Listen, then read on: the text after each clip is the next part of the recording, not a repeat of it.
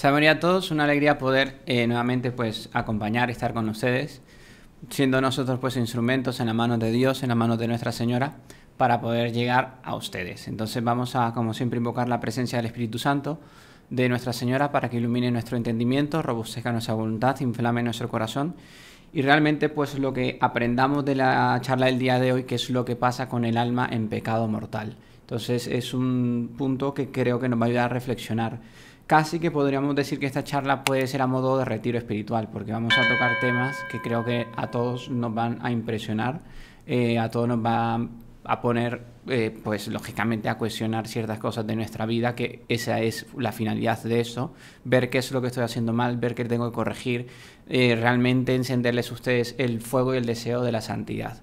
Tener justamente ese amor a la santidad, por un lado, y luego también un horror y un asco al pecado.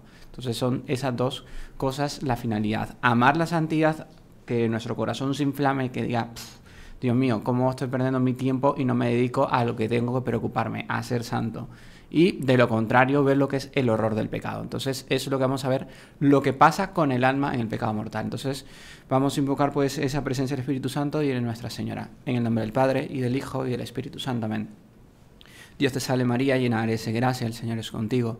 Bendita eres entre todas las mujeres y bendito es el fruto de tu vientre Jesús. Santa María, Madre de Dios, ruega por nosotros pecadores, ahora y en la hora de nuestra muerte. Amén. Sagrado corazón de Jesús, En vos confío. Dulce corazón de María, Sed la salvación del alma mía. en el nombre del Padre y del Hijo y del Espíritu Santo. Amén. Pues muy bien, entonces comenzamos. Vamos a ver lo que pasa con el alma en pecado. Recuerden que ustedes pueden pues mandar pues las preguntas, las dudas. Aquí tenemos un super equipo técnico que no están para nada dormiditos, están tomado café, así que están bien despabilados. Por lo tanto, ustedes pueden mandar ahí sus preguntas, sus consultas, que ya tenemos dos notarios que están ahí mandando las preguntas y vamos a ver lo que sale. ¿Vale? Pues con todo el gusto, mientras podamos, pues lógicamente vamos a ir respondiendo. Entonces, eh, tenemos que comprender, yo creo que algo muy interesante, comienzo contando un hecho de la vida real que fue en el año 1867 en Sudáfrica. Y es que un comerciante llegó a Sudáfrica, eh, pues lógicamente, a buscar la vida y lógicamente de una forma no muy buena. Y es una historia que impresiona mucho porque es una metáfora que es lo que hace justamente el demonio justamente en el alma de nosotros. ¿Y qué pasó con este comerciante? Pues este comerciante vio que estaban los niños eh, sudafricanos jugando pues ahí eh, con, con, unas piedras que con el sol brillaban. Hombre, y ahí el comerciante se le abrieron los ojos y dijeron, opa, estas piedras se ven diferentes a lo normal. Y ahí vino este comerciante astuto, inteligente, lógicamente una inteligencia usada para el mal, y se las cambió por unos espejitos. ¿Y qué pasa? Que aquellas piedrecitas con las que estaban jugando aquellos niños eran diamantes. ¿Y qué hizo aquel comerciante? Pues se las cambió por unos espejitos. Y es una metáfora que uno dice, que digo, es una historia real, pero que nosotros usamos como metáfora para entender lo que hace el demonio cuando a nosotros nos incentiva al pecado. Nos quita la joya de lo que es la gracia de Dios. Nos quita justamente lo más hermoso que tenemos, que es la paz verdadera de conciencia, porque conste que existen falsas paz. Hay una falsa paz y una verdadera paz. Y el demonio nos los cambia por espejitos. Y aquel diamante, aquella joya enorme eh, que nosotros llevamos dentro de, dentro de nosotros mismos, viene el demonio y nos las cambia por unos espejitos, por ilusiones. Por ilusiones en la vida en el que, ala, mira, ten eso y vas a ser feliz. Ten tal amistad y vas a ser feliz. Hacé tal pecado y vas a ser feliz. Y nos quitan la felicidad en esa tierra y en la otra tierra, sobre todo en el en el cielo. Entonces es un, una metáfora con la que me, me, impresionó mucho. Dije, ala, pues es esto lo que pasa justamente pues con el demonio. Eh, y un pecado mortal, entonces, ya nosotros hemos hecho una charla, cómo saber distinguir lo que es el pecado mortal del pecado venial. La charla la semana pasada la pueden buscar para que aquellas personas que no la pudieron ver, pues ahí van a comprender cuál es la diferencia entre el pecado mortal y el pecado venial. Entonces, Ahora nosotros con el pecado mortal vamos a comprender que es el gran desastre. Es justamente es como vamos a ver, es el suicidio del alma con el pecado mortal. Vas a un pecado mortal para condenar nuestra alma a la eternidad.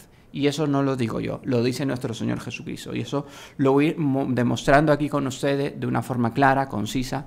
Espero ser siempre claro, espero ser también, pues lógicamente en esto, pues con la verdad sobre la mesa. ¿Pero para qué? Pues para que aprendamos, porque la verdad se tiene que poner, la luz se pone encima de la mesa, no debajo de la mesa, para que ilumine a todos. Pues lo mismo, nosotros venimos aquí con la verdad sobre la mesa, para que nos ilumine y porque lógicamente el tiempo de cambiar es ahora y no va a ser después. Entonces, también vamos a comprender que eh, el problema no es tocar fondo, porque muchos de nosotros en muchas veces en nuestra vida hemos tocado fondo eh, o estamos tocando fondo o vamos a tocar fondo. O sea, no es, lo importante es no qué tan hondo hayas tocado. Lo importante es que no te quedes a vivir ahí. Eso es lo importante, esa es la gran diferencia. Que una cosa, hombre, es que, mire, hermano, es que ha sido un desastre en mi vida. Hice cada locura, hice cada tontería pues hijo mío, no hay problema, levántate. El problema es quedarte ahí. Entonces, no, el problema no es que, eh, que, te, que, caigas, el problema es que vivas caído. Nuestro Señor Jesucristo, las tres veces cuando cayó cargando la cruz, las tres se levantó. Pues ese es el divino ejemplo que nosotros debemos de saber tener. Y es por eso también nosotros ver justamente abrir los ojos y ver lo que es el pecado. Porque yo viendo lo que es el pecado, hombre, me voy a asustar, lógicamente, y yo qué voy a querer pues hombre, ponerme en orden con Dios, ponerme en orden con mi alma, con mi conciencia. Porque el pecado es la gran locura. Muchos santos definen el pecado como la gran locura. Y la gran locura, ¿por qué? Porque perdemos lo más importante que es la salvación de tu alma. Que la vida son, vamos, son tres días. Son tres días en el sentido de que no dura nada. La eternidad es eterna, es siempre. Por lo tanto, no querer cambiar nuestra felicidad eterna con algo tan pasajero. Entonces, vamos a comprender también que la gracia es un tesoro que todos nosotros recibimos en el bautismo. Es un tesoro que está guardada en qué? En una vasija de barro. La gracia de Dios nosotros la llevamos, pero es una vasija de barro que desgraciadamente es quebradiza. Y realmente si nosotros no la cuidamos, desgraciadamente la pueden quebrar o yo mismo la puedo quebrar y perder ese gran tesoro. Entonces es conservar la gracia de Dios, es saber conservar justamente que nosotros, ahora que viene Navidad, pues yo pensar, pues si yo estoy en estado de gracia, Dios va a nacer en mi corazón. Si yo no estoy en estado de gracia, Dios no va a nacer en mi corazón. Así de claro y de contundente. Ah, no es que me gustaría que Dios naciera en mi corazón. Hombre, tus palabras dicen algo, dicen eso, muy bonito, muy lindo, pero quien dice son tus obras, son tus acciones. Entonces es pensar a la Navidad, por lo tanto, no es una etapa del año. Navidad es justamente que es un estado del alma en la que siempre estoy dispuesto a que Dios esté dentro de mi corazón, eh, a poder recibirlo como cuando Él andaba buscando posada, eh, nuestro Señor, eh, antes de nacer, Nuestra Señora y San José buscando posada y se la negaban. Pues el pecado mortal es eso, el pecado mortal le niega la posada a Dios en tu corazón. Entonces, eh, vamos a ir comprendiendo todo eso, vamos a ir viendo eso y con, eh, comienzo compartiendo pantalla. Y comienzo citando aquí justamente al libro de Isaías en el capítulo 5. Planté una vid, la regué, la aboné, la cuidé y vine a buscar en ella frutos dulces y solo encontré frutos amargos. Entonces, Vamos a reflexionar esta parte de Isaías, mm, en lo personal me encanta muchísimo y es una introducción perfecta para ver lo que es justamente lo que pasa con el alma. Planté una vid, Dios la regó, la abonó, la cuidó, vino a buscar frutos, que es cuando Dios te llame en el momento de tu muerte. Ay, hermano, que no, no hablé de la muerte, que eso asusta, hombre, que la muerte no tiene que asustarte. Lo que te tiene que asustar es vivir en estado de pecado mortal y no estar preparado para el encuentro con Dios es lo que te tiene que asustar. La muerte es simplemente una Pascua, un paso de esa vida que vuelvo a repetir, es pasajera, para realmente vivir, que es la vida eterna. Por lo tanto, planté una vid, Dios te dio una fecha de nacimiento. En tal año, en tal día, en aquella ciudad nace fulano de tal. Muy bien. La regué. Te regaron con el bautismo has recibido el gracia y el don de lo más grande que puedes recibir en la faz de la tierra, que es el bautismo. La aboné. Recibiste la sagrada comunión. Nuestro Señor Jesucristo presente en cuerpo, sangre y alma y divinidad. Justamente se hace pan, ¿para qué? Para alimentarte. La cuidé. ¿Cuántas veces no has sentido el cuidado de Dios?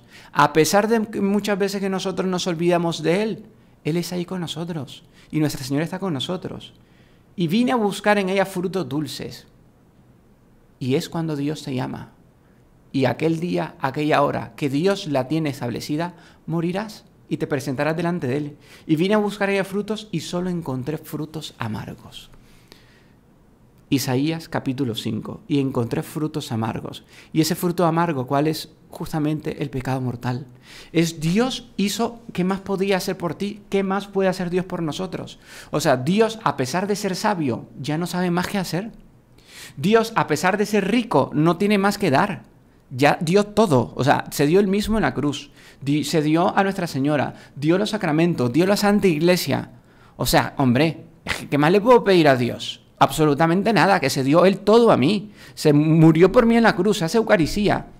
Hombre, Dios mío, me tienes que mandar no sé qué, no sé cuánto, hombre, que ha te dado lo más importante, que justamente su vida, que su amor. Entonces, y solo encontré frutos amargos. Y es justamente ahí donde yo de, de, pensar en las consecuencias de mis pecados. Porque las consecuencias de tus pecados y los míos las pagamos muchos en esta vida y sobre todo en la vida eterna. Por lo tanto, aquella persona que dice, hombre, que yo soy libre para escoger si me quiero juntar o rejuntar o hacer lo que me dé la gana. Es que yo soy libre para decidir si me fumo todo lo que me tengo que fumar habido por haber los fines de semana. O yo soy libre porque me siento libre yendo a una discoteca a oír música ordinarias o a un concierto a oír un reggaetón porque me siento libre. Muy bien, muy bien. La verdad es que si eres libre, pero no abuses de la libertad y sobre todo no pongas de pretexto la libertad para darle justamente rienda suelta a aquello que ofenda a Dios. Porque justamente aquello con lo que tú te sentías libres, pues van a tener consecuencias. Van a tener consecuencias sobre todo en el día del juicio cuando te presenten delante de Dios. Por lo tanto, aquí, con lo que pasa con el alma de pecado, nosotros vamos a ver seis cosas que pasa con el alma en el pecado mortal. Y lo vamos a ir viendo y la verdad es que ustedes van a decir, Dios, no sabía que era tan grave. Sí, hijo mío, es súper grave. Es algo gravísimo. El pecado mortal es lo peor que debes de temer en esta tierra. Lo peor que debes de tener es justamente perderlo todo. Vas a perderlo todo. El pecado mortal te hace perderlo todo, absolutamente. Ala, ¿y eso se puede recuperar? Buena noticia, sí, hijo mío, sí se puede recuperar. ¿Y cómo se recupera? Con la confesión Ay, no. Lo de la confesión, mira, tan bonito que usted hablando que vamos, cuando yo hablo de la confesión como eso, a mí que no me va. Hijo mío, pues bajamos tres palitos al orgullo y vamos a saber que la confesión es un sacramento instituido por nuestro Señor Jesucristo. A los que les perdonéis los pecados les quedan perdonados, a los que retengáis los pecados les quedan retenidos. Es una institución divina, es el camino escogido por Dios. Eso ya lo hemos hablado en prosa y verso pueden buscar otras charlas sobre ese mismo tema, sobre lo que es la confesión. Pero la cuestión entonces, ¿cuál es? Que gracias a Dios, Dios es tan misericordioso que nos dejó ese sacramento de la reconciliación. Por lo tanto, si yo estoy en pecado mortal y yo no me confieso, no tengo perdón de Dios. Porque el camino establecido por Él se llama el sacramento de la confesión. Enhorabuena, para nosotros sería la gran alegría, la gran noticia de saber que después de que hoy en esta charla, hombre, que la gente vaya a confesarse. Es que tengo 20, 40, 50 años de no confesarme. Hombre, estupendo, genial. Eso significa que gracias a Dios, Dios te ama, Dios se quiere perdonar y quiere que salves tu alma. Lo único, que seamos humildes y que reconozcamos el camino que Él ha establecido, que es el sacramento de la confesión. Sigo leyendo aquí Isaías en el capítulo 5. Oh vosotros lo que pasáis por el camino, venid y haced de jueces entre mi viña y yo. ¿Qué más podría yo haber hecho por mi viña que no lo haya hecho? Y entonces, ¿por qué en vez de producirme frutos dulces, me los produjo amargos? Así continúa el profeta Isaías. Entonces es, un, es, una lectura, ojalá que después la puedan leer tranquilo en casa, posteriormente, y reflexionar. O vosotros que pasáis por el camino, venid a ser de jueces entre mi viña y yo, o sea, entre ti y el propio Dios. ¿Qué más podría yo haberle dado? ¿Qué, más puede haberte dado Dios? Absolutamente. Es que no, no tengo tal cosa. Es que no tengo buen trabajo, hijo mío. Todo eso es secundario. Cruces vamos a tener siempre. Y dejémonos de quejarnos ya de la vida. Empezamos a qué? A, a querer ser santo. A saber que si tengo esa cruz, hombre, a cargar con ella. Como todo un hombrecito, como toda una mujercita, pues venga, a cargar mi cruz para adelante. Y sin estarme quejando de, vamos, desde el aire que respiro hasta el agua que tomo. No. Entonces es saber afrontar los problemas con alegría, con justamente con entusiasmo. Hombre, que duele un montón, que tengo 7000 cosas que no sé por dónde comenzar, que tengo se me, se me, se me vino la peste bubónica, venga. Me han venido todas las pestes, todas las plagas de Egipto. Pues bendita plaga, benditos problemas, porque te llevan a Dios, cuando te hacen elevar la mente, el corazón, y que lo pueda ver. A veces que Dios necesita un megáfono para gritarnos, para recordarnos que estamos de paso en esta vida, y nos manda enfermedades, y nos manda problemas, y nos manda dificultades. ¿Para qué? Para que no tengas apego a este mundo, para que no tengamos apego a nada ni a nadie, y entendamos que nuestro único apego tiene que ser el cielo, nuestro único apego solo tiene que ser Dios, nuestro único apego tiene que ser María Santísima, nuestros únicos eh, apegos. También hay una frase del Evangelio que me encanta muchísimo, es que quien ama el peligro perecerá en él. Quien ama el peligro. Desgraciadamente, nosotros a veces amamos el peligro, pues entonces significa que voy a perecer en él. Ejemplo, pues hay muchísimos. Hombre, que yo sé que viene a mi país un concierto de reggaetón, que yo sé que es una ofensa directa contra Dios. Además que gente que, desgraciadamente, es gente satánica, gente que ha entregado muchas veces el alma al demonio. Que, ala, eso existe, eso existe, hijo mío. A ver si no es primera noticia. Pues bien, hombre, quien ama el peligro perecerá en él. O si yo voy a una fiesta que yo sé que va a haber licor, que va a haber inmoralidad. No, hombre, es que yo no voy a hacer nada. Yo voy porque me han invitado, porque es que queda feo decir que no. Quien ama el peligro perecerá en él, porque tienes que amar más tu alma que a la persona que te ha invitado, o a la persona que te regaló la entrada, o lo que sea. Pero la cuestión es que, hombre, del peligro yo tengo que huir. Porque si no, desgraciadamente voy a perecer en él. Quien ama el peligro, también quien es aquella persona que sabe que no tiene que tener tal amistad particular porque le hace mal. Porque desgraciadamente entra la sensualidad, porque o entra la inmoralidad, o porque entran las malas palabras, o entra el mal ejemplo, pues quien ama el peligro perecerá en él. Entonces es saber cortar, eh, eh, eh, arrancar de cuajo, utilizar verbos fuertes, porque fuerte es lo que tenemos que hacer justamente con qué? Con las personas, cosas o circunstancias que justamente me ponen en peligro mi alma. Entonces, es un punto que nosotros también debemos de pedir a Dios aquí en este punto, antes de comenzar, que comenzamos ya con los, con los seis cosas que pasan con el alma? Pues pedirle a Dios que justamente nos ayude a sanar las adicciones al pecado. ¿Será que yo tengo una adicción al pecado? Pensar cuál es mi adicción. ¿Cuál será el pecado que estoy adicto? ¿Será el teléfono móvil, el teléfono celular que veo inmoralidades? Es una adicción y de pecado mortal. Es que puede ser que mi adicción sea una mala amistad. Es que no puedo dejar a fulana a fulana porque es que vamos, me la paso bomba y porque me vivo cargajeando que parezco ya, pero vamos, hasta deshebrado mental, porque es que ya, ni razono. Entonces, hombre, que Dios nos ayude a sanar nuestras adicciones al pecado para poder cortar con eso y poder tener justamente un horror a ese pecado. Y aquí es cuando nosotros vamos a pedir a Dios su misericordia, viendo nosotros el pecado, enfrentándolo, viéndolo cara a cara y diciendo, por ti me voy a condenar ¿Eres tú por el que voy a pasar toda mi eternidad lejos de mi Creador, lejos de mi Redentor? No vale la pena. Absolutamente no vale la pena. Por lo tanto, Dios aquí nos invita hoy a escribir una nueva página de tu vida, en la que puedes borrar absolutamente todo el pasado. ¿Eso se puede? Sí. ¿Y cómo? Con la confesión. Es que yo ya me confesé, pero es que tengo remordimientos. Pues no eres más que Dios, porque si lo has confesado Pecado confesado, pecado perdonado. Entonces no eres más que Dios. Si ya has hecho una buena confesión y ya has pedido perdón a Dios, hiciste una buena confesión, pues amigo mío, aquí ya no lo tienes que recordar absolutamente nunca más en tu vida. Pues bien, entonces es eso lo que debemos de tener. Y aquí me recuerdo también, tal vez, eh, un, un, libro de una santa española, Santa Maravilla de Jesús, que es una maravilla de libro, una maravilla de santa, Santa María de Jesús, reformadora del Carmelo, eh, del siglo pasado, y ella escribió un libro, un tocho así, algo grueso, pero lindísimo, pero solo el título lo dice y resume todo lo que he dicho yo aquí. Y solo el título lo dice todo. ¿Y cuál es ese título? Si tú le dejas. En eso se resume todo lo que he dicho. Si tú le dejas. Si tú realmente dejas a Dios que regue, abone, cuide, pues lógicamente no vas a encontrarte con esta palabra de Isaías y vas a poder tener la alegría de haber cumplido la finalidad que Dios quiere, que, que seas feliz, pero sobre todo en la eternidad. Entonces continuamos, vamos a compartir pantalla y vamos a ver el primer característica de lo que pasa con el alma en pecado. Primero, pérdida de la gracia santificante, de virtudes y dones del Espíritu Santo. Aquí cito el Apocalipsis en el capítulo 9, versículo primero.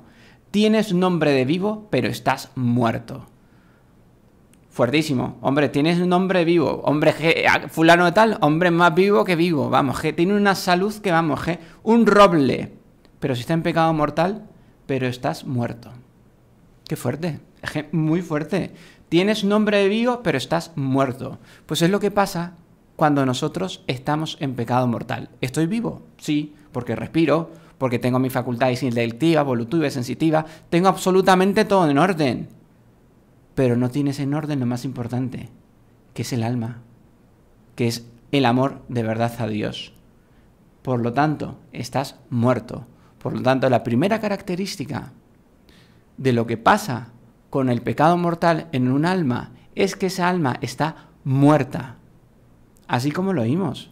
Por lo tanto, me atrevo a citar y a recordar a muchísimos santos diciendo que el pecado es el suicidio espiritual.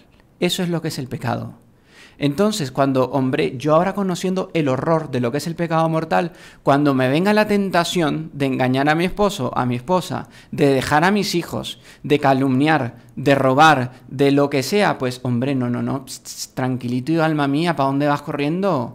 Que te vas a morir, que me voy a suicidar yo mismo. Hombre, valga la redundancia, pero en en el fondo, vamos, es un acabose a mi alma, a mi vida espiritual, todo acabó ahí.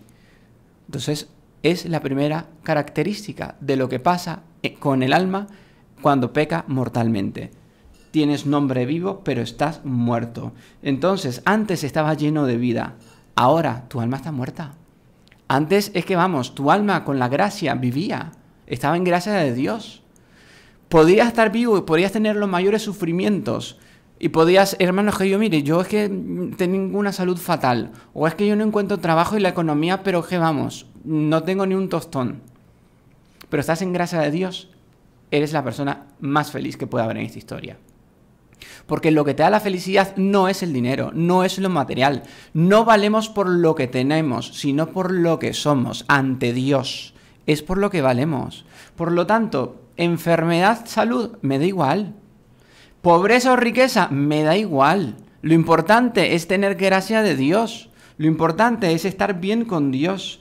Eso es lo más importante. Y si no, ¿por qué? Porque tu misión está perdida. Dios para lo que te creó, para tu finalidad, fracasaste. Pero entonces aquí Dios te justamente te hace un apelo para que despertemos de la falsa paz en la que vivimos y pienso que todo está estupendo y estoy en pecado mortal, pues no, hijo mío, no está todo estupendo. Deberías de ir al confesionario y a ponerte en orden con Dios, con tu alma, y ahí sí vas a ser feliz, y les prometo. Por eso, como le dijo el apóstol en la invitación, ven y lo verás.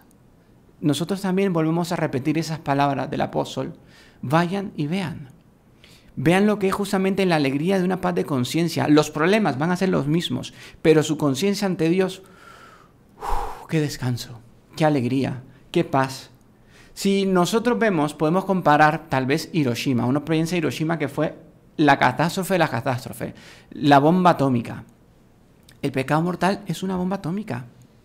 La diferencia es que Hiroshima mató cuerpos. El pecado mortal mata almas. Y tan desastroso y horroroso es como eso. Pero hay la buena noticia que justamente, que es cual, que todavía estamos con vida. No sabemos cuándo. No sabemos hasta cuándo.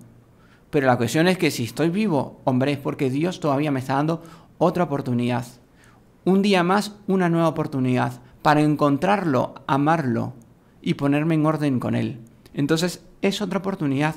Yo cada día de mi vida lo tengo que ver como una oportunidad. Como una oportunidad que Dios me ha dado.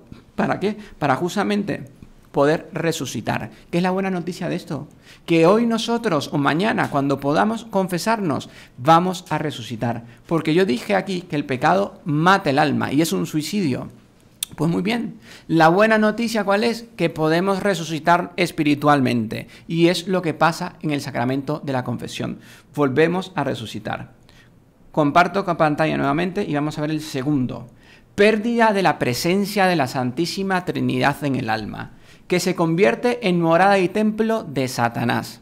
Eso vamos, catecismo de la Iglesia Católica. Todo esto me estoy basando en los padres de Salamanca. Me estoy basando en el catecismo de nuestra Santa Madre Iglesia, en las Sagradas Escrituras. Así que si ustedes ven y, o piensan, joder, que el hermano se está pasando siete pueblos, ¿eh? que, que lo que está diciendo está un poco fuerte. Pues hijo mío, es que vamos, que no es autoría mía. No, no, no. Yo vengo aquí a compartir con ustedes lo que es justamente la verdad. Y lo decimos así con autoridad porque no es autoría mía, sino la de Dios. Nosotros aquí somos meros instrumentos, que así como puedo ser yo, puede ser otra persona, pero somos instrumentos. La verdad es que es eso.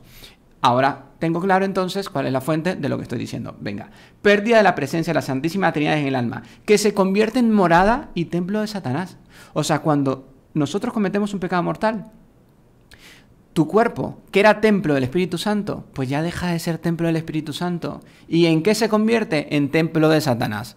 Hombre, qué fuerte que es. Fuertísimo.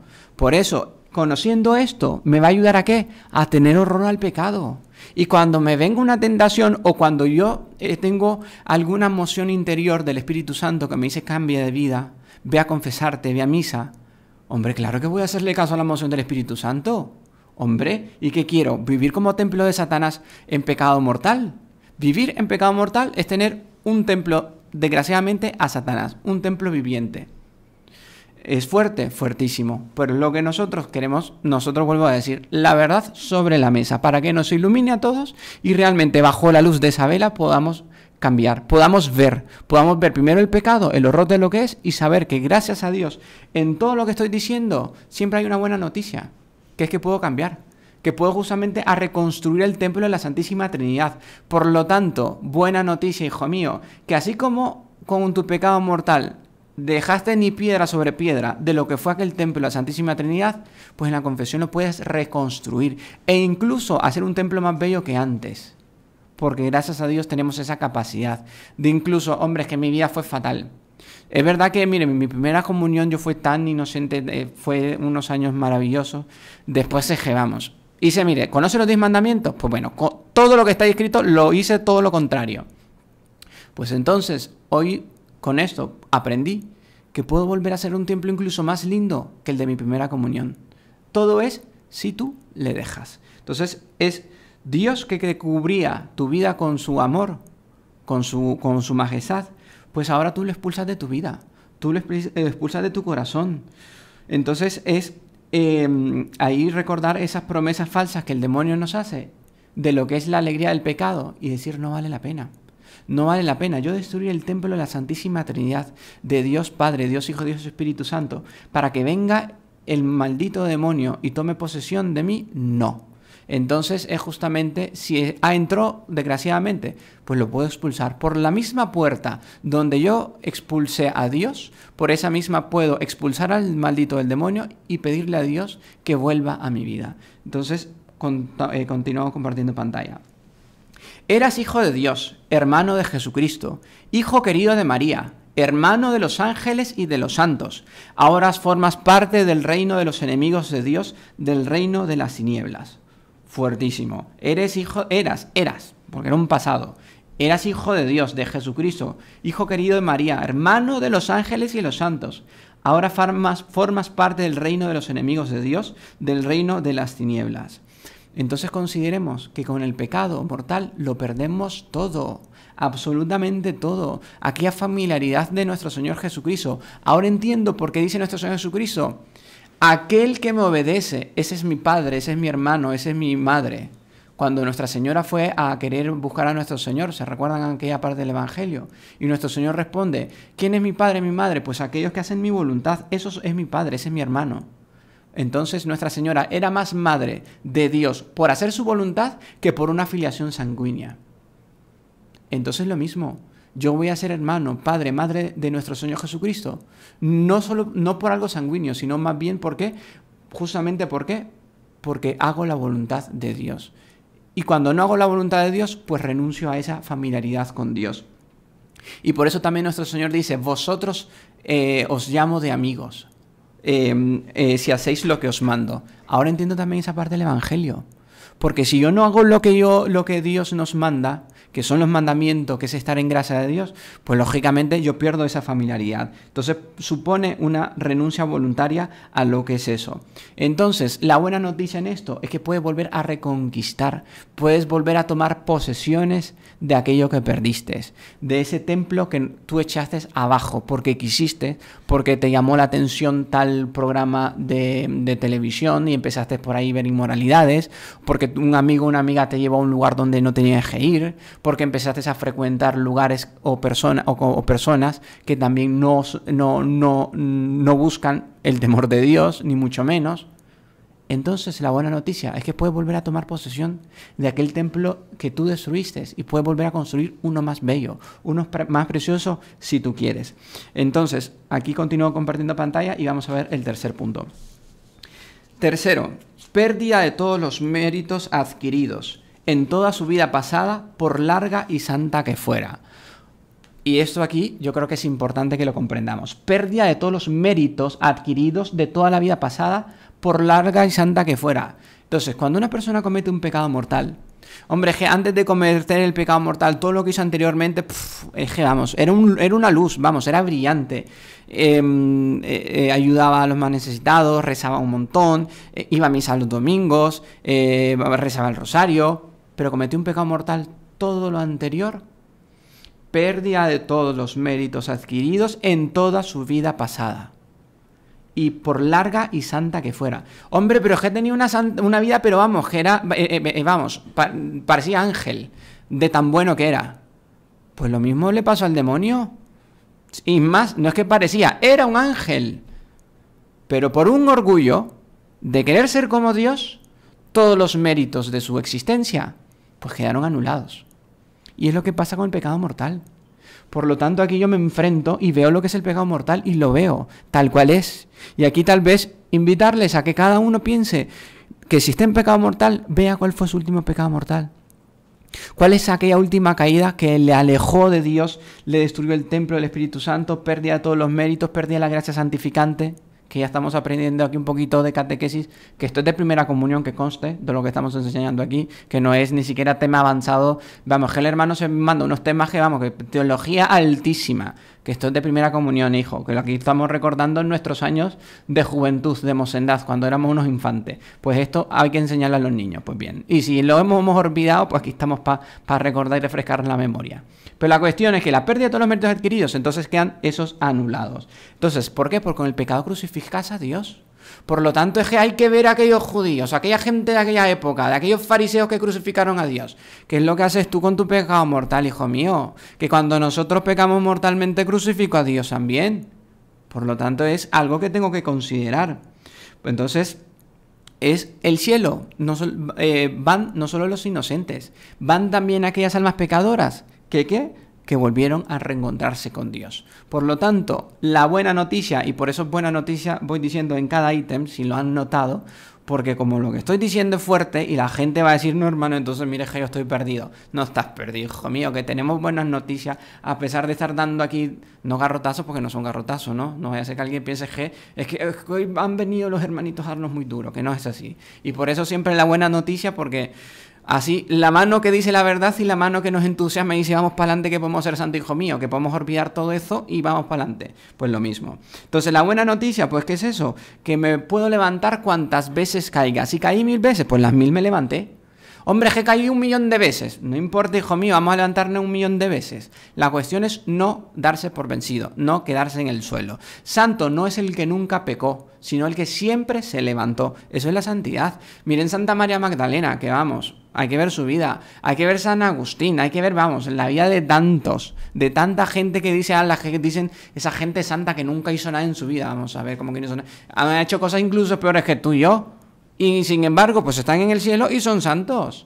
¿Por qué? Porque se levantaron. Por lo tanto, sinónimo de santidad es levantarse, es echarle ánimo, echarle ganas. ¿Está bien? Entonces, compartimos pantalla y vamos al cuarto. Después de este cuarto, preparen preguntas porque nos venimos con las respuestas, ¿vale? Feísimas manchas en el alma, que la deja tenebrosa y horrible a los ojos de Dios feísimas manchas. Entonces, feísimas tan manchas que pierdes tu identidad. El pecado te hace perder tu identidad de hijo de Dios. te hace perder aquello para lo que has nacido, para salvarte. Aquel hijo heredero, que porque, porque somos, según el bautismo, profetas, reyes y sacerdotes, pues con el, con el pecado, pues feísima mancha en el alma, que pierdo mi identidad. Pierdo mi identidad como hijo de Dios. Eso es lo que me hace perder justamente entonces, es una feísima mancha en el alma y que me hace ser esclavo infeliz. En esa vida ya se paga con la esclavitud al pecado. No, hombre, hermano, si debería de ver a, toda esa gente que tiene muchísimo dinero, fama, muchos se terminan suicidando, muchos en drogas y en alcohol. ¿Por qué? Porque de alguna forma tienen que por decir así, ser felices, entre mil comillas, porque se dan cuenta que por mucho dinero que tengan, por mucha fama que tengan, absolutamente no es nada. Entonces el alma nuestra está llamada a grandes proyectos, a grandes cosas. Dios quiere grandes cosas de ti. Hombre, de mí, ¿será que Dios quiere cosas de mí? Sí, quiere cosas grandes de ti. Sobre todo quiere tu alma. Eso es lo que Dios más quiere y te pide a ti. Que se la des, con los pecados, con las dificultades, con aquellos, con nuestras mil lagunas que tenemos, porque todos tenemos mil lagunas. Aún así Dios me ama, aún así Dios me quiere perdonar. Todo es si tú le dejas. Entonces, si el pecado deforma, he aquí una cosa tan bonita. Si el pecado deforma, Dios transforma. ¡Ole! ¡Qué linda frase! Ojalá que la aprendamos. Si el pecado deforma, Dios transforma. Entonces es justamente saber que buena noticia en todo esto, que Dios es capaz de transformar mi vida si tú le dejas. Hoy subrayo también la palabra si tú le dejas. Hoy hacemos famosa a Santa Maravilla de Jesús, diciéndole pues el título de su libro, si tú le dejas. Entonces, aquella frase, si el pecado deforma, Dios transforma, hombre, si tú le dejas, es capaz de transformar. Todo es que que vayamos con humildad, al sacramento de la confesión y tal como el Hijo pródigo, Padre, he pecado contra el cielo y contra ti. No merezco ser llamado tu hijo, trátame como uno de tus esclavos. Y no terminó de hablar el hijo pródigo cuando el padre lo estaba envolviendo de abrazos y de besos. El hijo pródigo no pudo continuar hablando. Porque fue tanto el amor que tuvo el padre que no lo terminó de dejar de hablar, ya no interesaba nada. Interesó al padre que había vuelto a casa. Y Dios quiere que tú vuelvas a casa que vuelvas a la iglesia, que vuelvas a la vida sacramental, que vuelvas a asistir a misa, que vuelvas justamente con esa ilusión de santidad, de, hombre, voy con todo a ser santo, ¿eh? Pues venga, a ser con todo ser la santidad, que la santidad no es algo opcional, es obligatorio para todo bautizado que no es una cuestión de cierto grupito, eso es hombre para los religiosos, eso es para los hermanos estos que han entregado su vida al servicio de Dios, que, que es para ellos que están obligados. No, hijo mío, que para todos, para todos toca la misma música, para todos. La santidad es una obligación. Entonces, justamente, hablé aquí del hijo pródigo, pues también recordarme que el hijo pródigo, ¿de qué, vivía haciendo? Pues de, de engordar a los cerdos. Y nosotros muchas veces, ¿qué hacemos? Darle de engordar también a los cerdos, que son tus pasiones. Y vivís dándole lo, vamos, dándole rienda suelta a tus pasiones.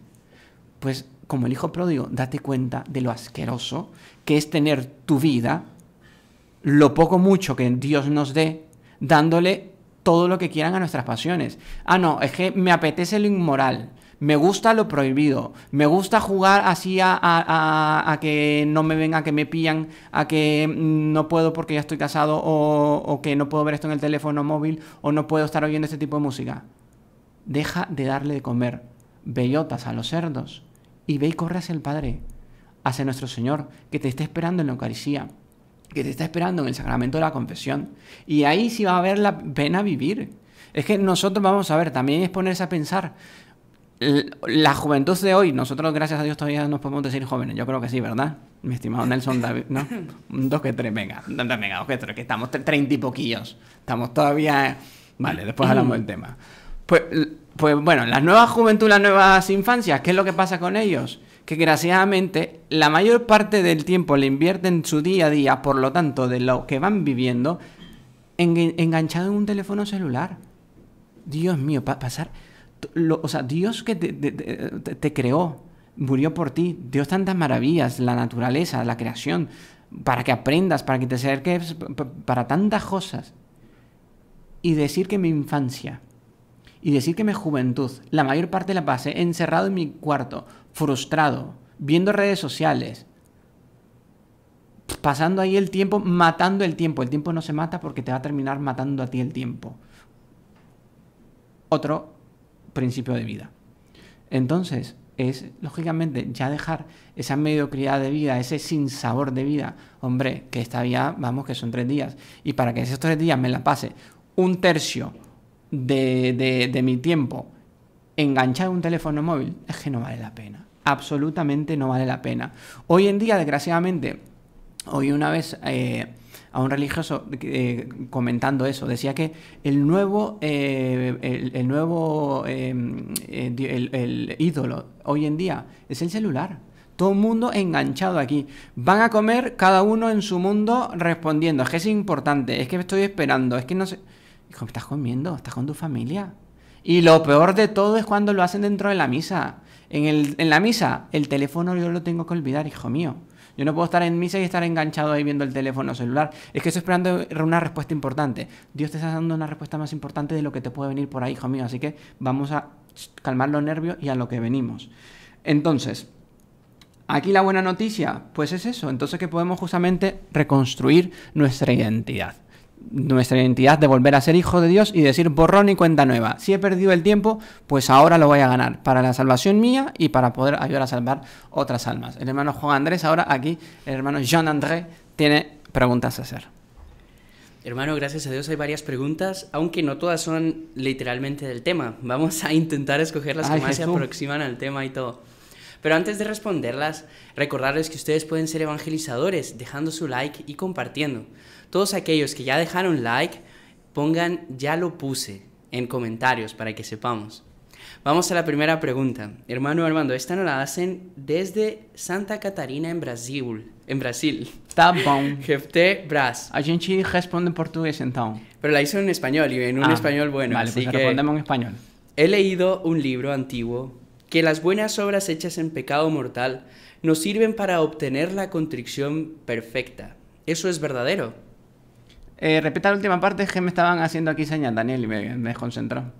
He leído en un libro antiguo que las buenas obras hechas en pecado mortal nos sirven para obtener la contrición perfecta. ¿Eso es verdadero? Digamos, según lo que hemos aprendido aquí, los méritos adquiridos de, la, de toda la vida pasada, por larga y santa que fuera, quedan borrados. Lógicamente, esas buenas obras que posteriormente yo pueda hacer, lógicamente van a ser un incentivo que me van a ir encendiendo en el alma el deseo de cambiar, el deseo de, ala, si es verdad, es que existe Dios, porque estas almas también me reportan a Dios. Entonces es lógicamente es un, un puente en el que lógicamente me van a llevar a una contrición perfecta a una contrición que me va a llevar a la confesión. Entonces, una contrición justamente de un dolor de mis pecados porque confío en Dios, un Dios tan bueno.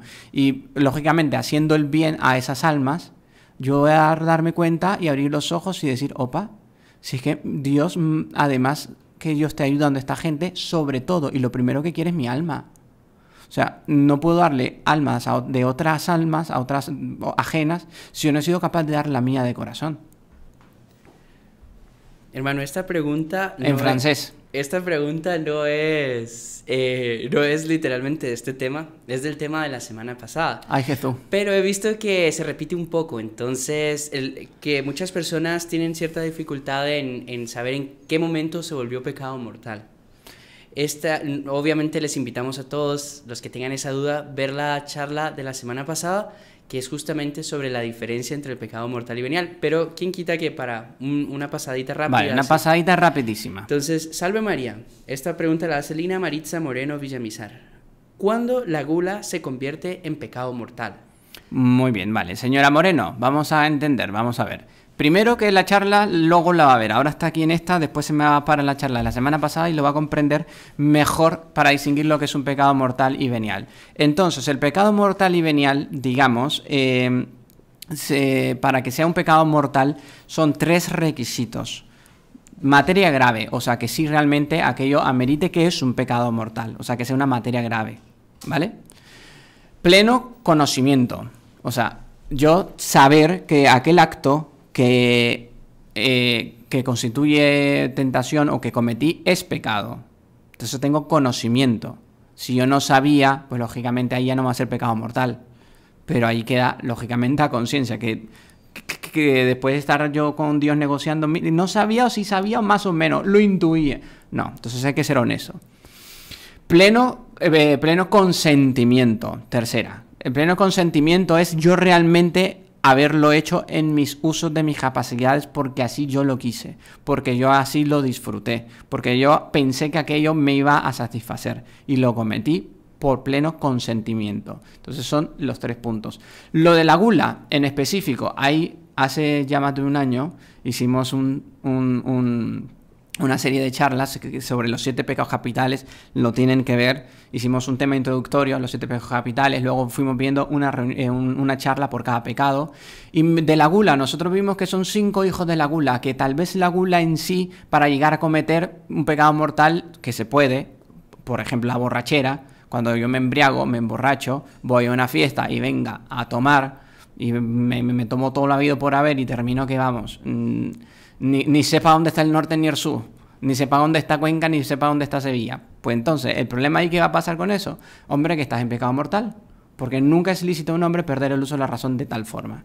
Vale, entonces es un ejemplo de gula. Pero luego están las cinco hijas de la gula. Una de ellas es la impureza. Entonces, quizás cometiendo gula, pero no fue un pecado mortal, pero fue un pecado venial, pero me puede llevar a un pecado de impureza. Porque es hija de la gula. Entonces, aquí no me extiendo en el tema porque si no, cambio el horizonte, el norte, y no va a ser yo también aquí distinguir para dónde está Cuenca y para dónde está Sevilla. Y la cuestión es saber que aquí estamos en la charla de esto, pero después lo puedo buscar.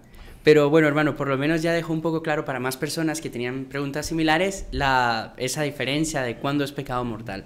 Otra pregunta aquí, usted ya nos dijo que con el pecado mortal perdemos todos los méritos y todas las, las gracias, ¿verdad? Pero Estela Onate nos hace la segunda pregunta. Si estoy en pecado mortal, Dios toma en cuenta mis oraciones y ayunos. O sea, ya estando, no, no los que perdí, sino yo estando en pecado mortal, ¿me valen de algo? Le valen, o sea, la ventaja es que, digamos, eh, en cualquier estado que esté mi alma, yo siempre tengo la oportunidad de rezar. Pero la persona que deja la oración deja el pecado. Y la oración que, y la persona que deja el, el pecado, el que mete entra en el pecado, deja la oración. O sea, es una cuestión correlativa. Entonces es una cuestión de que, lógicamente, yo puedo pedirle a Dios, Dios mío, ayuda a, a, cambiar mi corazón. Una historia fue la de San Agustín. Él sabía que se tenía que convertir y estaba el hombre que, vamos, más terco, más necio, que sería, quería seguir disfrutando de las cosas del mundo. Y fue las oraciones de su madre, Santa Mónica, la que realmente le dio una gracia y le dijo a convertirnos.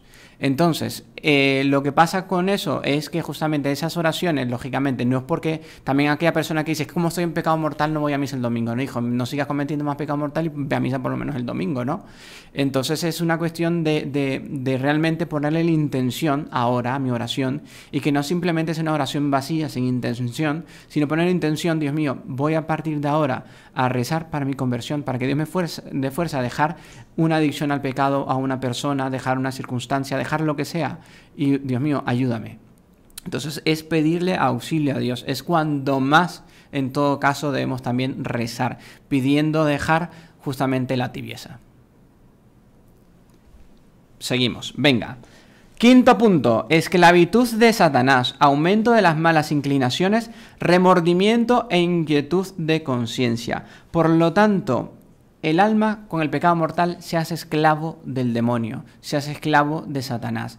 Además de ser templo de Satanás, como lo vimos anteriormente, no solo es templo, ahora también es esclavo del demonio. Entonces es un punto que nosotros debemos de tener en consideración en lo que es el pecado mortal. Y todo esto porque lo estamos diciendo a ustedes, nuestros estimadísimas almas a las cuales queremos, amamos y deseamos la conversión y la salvación, la de ustedes y las nuestras. Pues es para que nos deparemos con el horror de lo que es el pecado mortal. Para que el único temor lícito tener en esa vida es el pecado mortal. A otra cosa no puedo temer yo en esta vida. Ni aunque me venga, vamos, que viene el meteorito y que me va a caer en la cabeza justo en mi casa, en mi calle, en mi número, venga, en mi piso. Ahí me vino el meteorito que nada te dé miedo. El mayor miedo es el pecado mortal. Lo demás, hijo mío, es cuestión de que Dios nos va a ayudar. Buscad el reino de Dios y su justicia y todo lo demás será dado por añadidura. Por lo tanto, la esclavitud al demonio es justamente lo que nos tiene que tener justamente el horror al pecado. Y por otro lado, encender el deseo de santidad. Así que aquí yo pongo un reto. ¿Qué le parece, hermano Juan Andrés? Hacemos un reto para que esta gente, si hay alguno que esté dormidillo, pues como que se despierte, ¿no? Porque Por aquí supuesto. Gente... a ellos les encantan los retos, ¿sí ah, o no? Vale, los retos. Entonces todo el mundo ¿Quieren reto o no? Pónganlo en comentarios. Y además que está fácil, y además que con esto subimos, subimos producción. Que todo el mundo poniendo con todo a ser santo. A la gente que venga y ponga a todo con ser santo, es gente que, vamos, que le está gustando la charla y que sobre todo realmente sí quiere ser santo. Aunque diga, es que estoy lejos de eso, hombre, estamos todos lejos, pero vamos, la cuestión es estar en el camino. Así que todo el mundo, ahora, con todo poniendo, voy con todo a ser santo, voy con todo a ser santo. Así que es lo que el reto del día de hoy, para que así nos animemos y digamos y realmente comprendamos y nos entre en nuestro pequeño cerebelo y digamos voy con todo y sí quiero ser santo. Entonces vamos, escribiendo quiero ser santo. Y, y hombre, ya lo has escrito, ¿eh? ya es un compromiso. Ahora los pillé, los hemos pillado. Que a este punto queremos llegar, que lo, si lo han escrito, lo han puesto, lo han dicho, pues ahora voy con todo con eso, a realmente a buscar la santidad. Sabe, hermano, que hay una frase muy bonita de un santo, no recuerdo quién era, que era tener la determinación determinada de ser santos. Tomar esa determinación. Muy bien, ahí está. Entonces, determinación determinadísima de ser santo y que es obligación de todo bautizado. Así que es el camino que debemos de buscar, la santidad, ¿vale? Entonces, hastiados del deleite del mundo. Llega un momento en que ya te hastías de tener las malas amistades, que son cosas vulgares, degeneradas, sin sentido, dicen. Llega un momento en que eso harta. Es que la verdad es que sí. O aquella gente que vive también esclavizada a la inmoralidad, haciendo pecados mortales eh, eh, con, con, su cuerpo mismo o con otras personas, llega un momento en que todo eso se hastía. Porque el pecado siempre va a hastiar. ¿Y qué pasa? Que un abismo lleva a otro abismo. Y si nosotros no salimos de eso, pues vamos a hacernos esclavos del demonio. Y aquí recuerdo, recordamos lo que dice el libro del Génesis. Y se abrieron los ojos cuando cometieron el pecado original nuestros primeros padres, Adán y Eva, que sí existieron. Entonces, Adán y Eva, nuestros primeros padres, ¿qué dice el libro del Génesis? Y se abrieron los ojos. ¿Y qué es lo que vieron? Vergüenza. Porque sintieron vergüenza. Y por eso fueron a esconderse. Entonces es justamente el fruto del pecado mortal es la vergüenza. La vergüenza en esta vida de no haber sido fiel a las promesas del bautismo, a las promesas de mi matrimonio, a las promesas ante Dios, ante mí mismo, ante mí mismo y ante mi conciencia. Y por lo tanto, la vergüenza. Y aquí también volvemos a traer otra frase del Evangelio, no te no te es lícito, cuando San Juan Bautista le dijo eso a Herodes, Herodías, y por eso le cortaron la cabeza.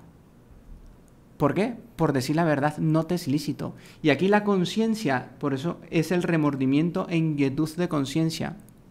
Aquella conciencia nos va a decir no te es lícito, no te es lícito calumniar, no te es lícito abandonar a tus hijos, no te es lícito eh, oír músicas que son inmorales, no te es lícito embriagarte, no te es lícito tener malas amistades, no te es lícito, non ti no te es lícito. Pues bien, entonces es eso también fruto del pecado mortal, aquel remordimiento, inquietud de conciencia que no te va a dejar tranquilo. Por eso no hay mejor almohada que tener una conciencia tranquila y decir, Dios mío, mira, si me quieres llevar hoy, con todo el gusto, que estoy preparado. Pero hay del alma que tema, no, no, no, Dios mío, ahorita no, espérame un segundito que tengo que ponerme en orden. Entonces, no sabes si vas a tener ese segundito. Por eso entonces la cuestión es estar preparado. Y que otro punto, que si nosotros con el pecado, mm, como respondiendo también a la otra señora que había mandado la pregunta, en vez de huir de Dios, es huir hacia Dios con el pecado. O sea, es con mayor razón que tengo que ir hacia Él. No es distanciarme de Él, de lo contrario, es cuando tengo que ir más hacia Él para que me ayude, para que me dé fuerza, para que me ayude en mi debilidad. Y la esclavitud de Satanás, entonces, fruto del pecado mortal, ¿todo por qué? Por no rezar fuerte, fuertísimo, por no rezar. Dice San Alfonso María de Ligorio, el que reza se salva, el que no reza se condena. Ante esa nueva verdad que estoy conociendo, pregunto a modo de conciencia personal, ¿cómo son mis oraciones? Rezo todos los días. Quien reza se salva, quien no reza se condena. Hombre, un tip aquí importante para mi vida, no para el día de hoy, no del reto del día, sino del reto de mi vida. Rezar todos los días, con o sin ganas. Nunca poner de pretexto tiempo. Aquella gente es que no tengo tiempo de rezar. Corrige aquello, que lo que no tienes es amor, porque tiempo podrían buscarlo. Que hay gente que dice que no tengo tiempo de rezar, lo que no tienes es amor, porque si tuvieses amor buscarías el tiempo para realmente invertirlo en lo que vale la pena invertirlo, que es en Dios, que es en la salvación de tu alma. Y mucha gente también se hace esclava del demonio, también, ¿por qué? Por no pedirle ayuda a Dios. En el momento de la tentación, pedirla a Nuestra Señora. La Virgen Santísima, otro eh, principio, es el mayor enemigo del demonio. La Virgen humilla más a Dios que, el, que la Virgen humilla más al demonio que el propio Dios. Al hermano, ¿y eso qué es? usted, usted, ahora sí vamos. Ahora sí, mire, yo cambio de canal porque ahora sí ya entró en tema. Hijo mío, vamos a ver, un poquito lógica razonable. El demonio es ángel, es inteligente, sabe que Dios es Dios y no tiene comparación. En cambio, María es una criatura, es una mujer, es una criatura. Por lo tanto, por eso lo humilla más. Porque no soporta justamente esa humillación. Y por eso el demonio le tiene ese pavor a Nuestra Señora. Entonces, cuando me venga la tentación, me venga invocar a Nuestra Señora. Entonces, aquí, la buena noticia. Vuelvo a repetir que aquí siempre con buena noticia para no dejarlos todos así, Dios mío, que esto está muy fuerte. Pues bueno, pues la buena noticia, que así como nuestro Señor le dijo a la viuda de Naim, levántate, pues hoy también Dios también te dice hoy, levántate. Levántate, piensa cuál fue tu último pecado mortal. Piensa cuál es la última razón por la cual estás alejado de Dios. Y, ponte a pensar, ¿vale la pena? ¿Vale la pena eh, dejar a Dios, dejar la eternidad, dejar el cielo, dejar la gracia de Dios? Por eso, por lo que estoy teniendo o estoy viviendo. No vale la pena. Por lo tanto, hoy voy a oír la voz de Dios en que dice levántate. Y así como le dijo aquel levántate aquel, a la viuda de Naim, al hijo de la viuda de Naim, pues también Dios hoy también me lo dice, levántate, levántate y vamos a ser santos y vamos a conquistar el cielo. Y aquí comparto pantalla y primero aquí tengo una foto, una foto, una fotografía interesante que también nos sirve a modo ilustrativo de lo que hemos hablado hoy. Entonces, pensar en las consecuencias del pecado, pensar que el alma vacía lo santo y llena de inmundicias el alma y ver lo que es la puerta ancha y la puerta angosta. Hombre, es que todo el mundo lo hace. Es que todo el mundo oye esa música. Es que hoy todo el mundo se vise inmoral. Pues tómenle captura de pantalla a esta foto y es bueno tenerla así a mano y recordar y ver esto y ver la diferencia de la puesta angosta y la puesta ancha. Pero vamos a ver la finalidad, el fin de cada uno. Uno es el abismo con el demonio, el otro es la corona de gloria de Dios combatí el buen combate, como dice San Pablo, llegué mi carrera, ahora me está esperada la corona de gloria. ¿Por qué? Porque combatió. La vida se combate, no se disfruta. Son dos verbos que debe saber diferenciar. Es que yo vine a ese mundo a gozar la vida. Pues vas por la puerta angosta, hijo mío. Y si no cambias de camino, y si no cambias de, de puerta, pues ya sabes para dónde vas, ¿eh? Que la vida se conquista, la vida tiene sacrificios, la vida justamente tiene ese, e, e, esa renuncia a mí mismo. Por eso también dice nuestro el Evangelio, el que quiera seguirme, que renuncie a sí mismo, cargue con su cruz y después me siga. Por lo tanto, es el camino, es justamente aquello que voy a ver. Uno se pone a ver, sin salud, a veces vamos a ser desgraciados años. Al ajeno tengo un cáncer, tengo una enfermedad, tengo lo que sea me pongo a pensar, voy, voy a tener infelicidad por unos años, pero el pecado mortal vas a tener infelicidad toda la eternidad. Esa es la diferencia. Y la enfermedad puede es un instrumento de salvación, no es un castigo de Dios. Pero el pecado mortal, eso sí, hombre, eso sí lo tengo que temer. Es que tengo un miedo al cáncer a tal enfermedad. Pues a lo que debes de temer es al pecado mortal, a las enfermedades no. Porque enfermedad, hombre, algún día te vas a morir tú y yo, y lo que Dios quiera. Estamos en manos de Él. Nadie se muere en las vísperas ni un día después. En el momento que Dios te llama, pues hasta ahí llegamos. Pues bien. Pues la cuestión es temerle justamente entonces al pecado mortal. Pensar aquella gente que dice es que nadie me vio. Cuando voy a cometer tal pecado mortal, es vamos, no se enteraron. Dios te vio.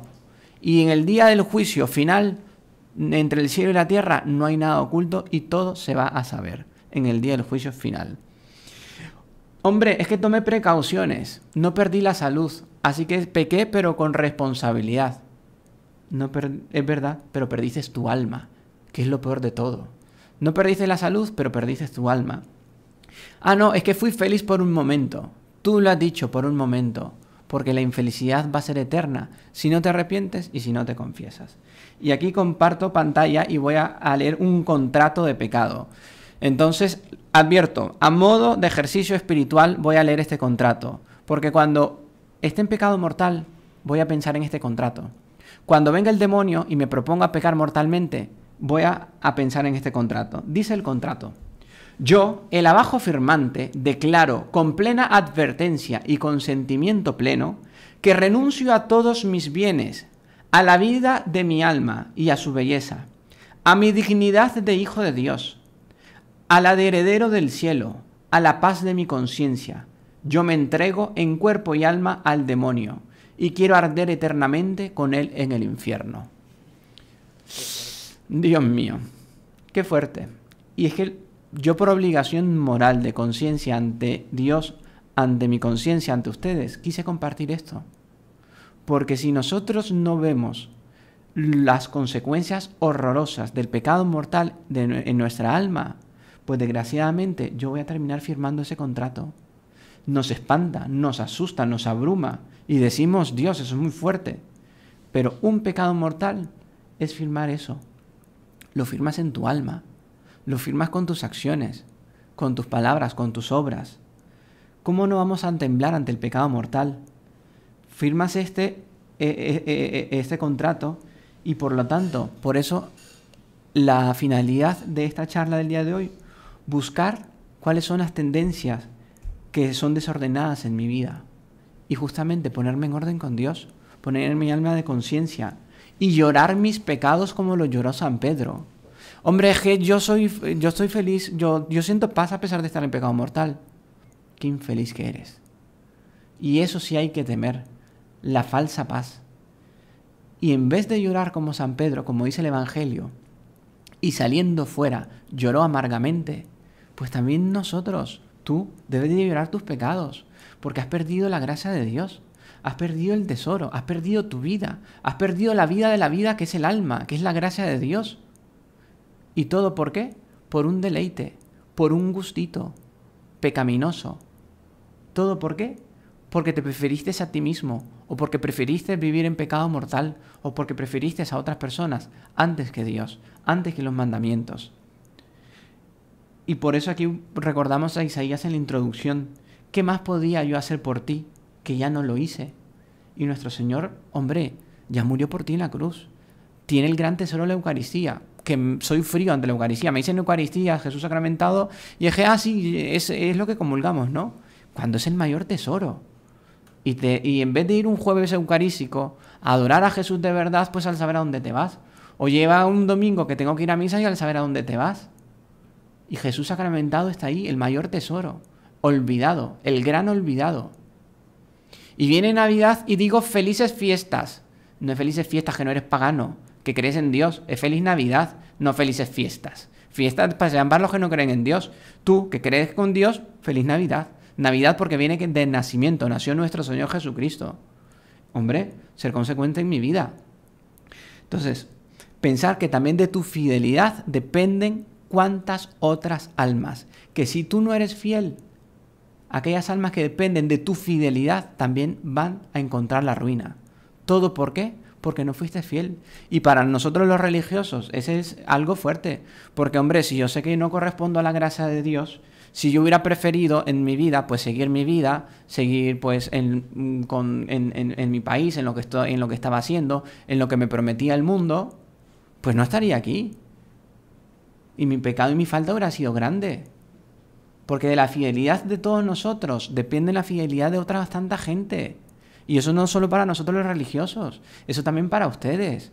Si ustedes no son buenos padres de familia, si no son buenas madres de, buenas madres de verdad, si no saben tratar bien a, sus, a los empleados, si ustedes no saben dar el buen ejemplo a sus amigos, pues entonces de la fidelidad de ustedes depende la fidelidad de otros muchos.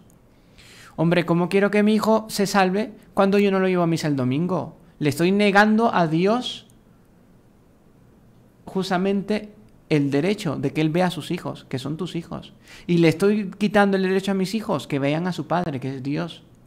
Hombre, entonces a pensar en todo esto realmente y ver que tengo, seguro que tenemos cosas que cambiar. Tenemos que dejar deleites mundanos, dejar amistades, romper. Nosotros cada uno, aquí no, no podemos decir porque cada uno sabe lo que tiene que dejar de hacer.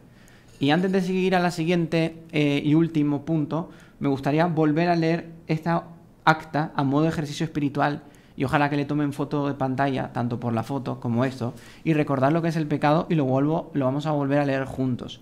Yo, el abajo firmante, declaro con plena advertencia y consentimiento pleno que renuncio a todos mis bienes, a la vida de mi alma y a su belleza, a mi dignidad de hijo de Dios, a la de heredero del cielo, a la paz de mi conciencia, yo me entrego en cuerpo y alma al demonio y quiero arder eternamente con él en el infierno.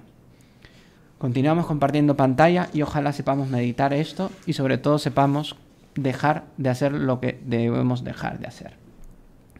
Punto 6. Pena eterna. Lo que pasa con el alma en pecado mortal. Pena eterna. Mateo 25:41 nos dice, entonces dirá también a los de su izquierda, Apartaos de mí, malditos, id al fuego eterno preparado para el diablo y sus ángeles. Puf. Hermano, ¿no cree que eso es muy fuerte? Sí, la verdad es que estoy muy de acuerdo contigo, que está muy fuerte. Pero quien lo dice es nuestro Señor Jesucristo, que es, bíblico, que está en las Sagradas Escrituras, en el Mateo 25, 41. Por si no nos creen, pues después van a buscar la Sagrada Escritura se toman el tiempo, buscan Mateo 25, capítulo 41, entonces dirá también a los de su izquierda, apartaos de mí malditos, id al fuego eterno, preparado para el diablo y sus ángeles. Que eso es lo que dice Dios a las almas que mueren en pecado mortal. Fuertísimo, pues sí, hijo mío, pero es que todo eso se trata, de que cambiemos en esta vida, que queremos salvar el alma, que tengamos deseo de santidad, de que dejemos amistades eh, malas, que dejemos malas influencias, que dejemos... Eh, de ver cosas inmorales, de hacer cosas impropias con nosotros mismos, con otras personas. ¿Sí? ¿Por qué? Porque, hombre, porque si no, entonces dirá también a los de su izquierda, apartaos de mí, malditos, id al fuego eterno preparado para el diablo y para sus ángeles. Entonces es tener justamente este temor, es un santo temor pensar en esto y pensar que me voy a presentar delante de Dios y qué explicaciones le vas a dar que pensabas que la vida era un juego, que pensabas que eso de la confesión era cuento chino. ¿Y qué le vas a explicar? Que eso de la misa el domingo y eso de comulgar pues no te apetecía o que no tenía ganas. ¿Qué le vas a decir? ¿Qué le vas a explicar? Entonces no juguemos con eso. Tu herencia, tu herencia era el cielo, pero con el pecado mortal has dejado la herencia eterna del cielo y has preferido qué? Pues el fuego eterno. ¿Y has preferido qué? justamente el pecado. Por eso aquella frase que ya le dije en otras charlas con ustedes, pecador no te duermas en pecado, no sea que te despiertes ya condenado. Pecador no seas, pecador no duermas en pecado, no seas que te despiertes ya condenado. Por lo tanto, no acostumbrarme a vivir nunca en un pecado mortal, no dejar que el pecado se haga viejo en tu alma, porque en cuanto más pasa el tiempo, más difícil va a ser dejar aquel pecado. Por lo tanto, no dejen que envejezca un pecado en el alma de ustedes. Es que tengo 70, 80 años, pues con mayor razón, hijo mío, vamos a confesarnos. Es que tengo 10, 20 años, pues tú no sabes si te mueren mañana. Vamos a confesarnos. Entonces, si fallaste a Dios, no te alejes de Él, de lo contrario, es ir hacia Él. La buena noticia de esto es que todavía, eh, con la gracia de Dios, puedo abrir los ojos y puedo reconocer y ser humilde y reconocer el sacramento de la confesión como mi tabla de salvación, como tabla puesta por Dios para perdonarme. Y tal vez ahora cuando reza el rosario, ahora voy a entender aquella jaculatoria que Nuestra Señora en Fátima le enseñó a los niños. Oh Jesús mío, perdona nuestros pecados, líbranos del fuego del infierno. Hombre, ahora ya entendí. Líbranos del fuego del infierno es librarnos del pecado mortal. Líbranos oh Jesús mío, perdona nuestros pecados, líbranos del fuego, lleva al cielo todas las almas, especialmente a de tu misericordia. Pues muy bien, ahora ya entendí todo lo que es eso. Continúo compartiendo pantalla. Eh, Si perturbado por el recuerdo de la enormidad de tus crímenes, confuso por la torpeza de tu conciencia, aterrorizado por el miedo del juicio, comenzáis a arrastrar por el torbellino de la tristeza y la desesperación, piensa en María. En los peligros, en las angustias, en las dudas, piensa en María, invoca a María. La gran conclusión de todo lo que hemos hablado aquí. Si estamos perturbados por la enormidad de tus crímenes, de tus pecados mortales, confuso por la torpeza de tu conciencia, aterrorizado por el medio del juicio, comenzáis por el camino de la tristeza, de la desesperación, piensa en María, Nuestra Señora, que es Madre de Dios y Madre tuya. Y saber que tenemos una Madre que está con nosotros, que está al lado nuestro. Y por lo tanto aquí lo importante es saber aprender a aumentar mi devoción a María Santísima. Eso no va contra Dios, de lo contrario, no son bandos opuestos. Cuanto mayor gloria y honra le doy a la Madre, más gloria y honra le doy al Hijo. Por lo tanto, si yo quiero ser santo, punto obligatorio, esencial, devoción a María Santísima. No hay santo que no haya sido devoto a María Santísima. Por lo tanto, el consejo de la vida, lo más importante en lo que puedo resumir toda la charla del día de hoy, devoción y amor a Nuestra Señora. Comparto pantalla y aquí termino con esta con dos tips para justamente abandonar el pecado mortal. Y después terminamos con las preguntas que el hermano Jean-André y compañía limitada pues tienen.